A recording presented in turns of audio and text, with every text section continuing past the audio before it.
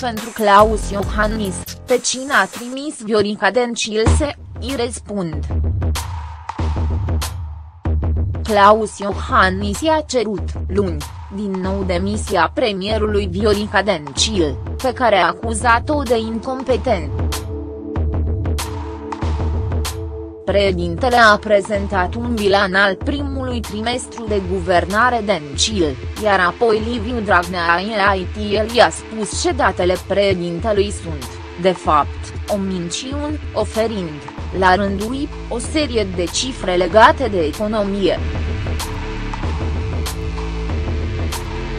Azi, guvernul a decis ca președintele să primească replicant de la premier, cum s-ar fi așteptat toată lumea, ci de la un vicepremier. Astfel, Viorel Tefan va susține marci, la ora 19,00, declarații de pres, la Palatul Victoria, anunț biroul de presă al guvernului. Tefane fostul ministru al finanțelor în mandatul lui Sorin Grindeanu.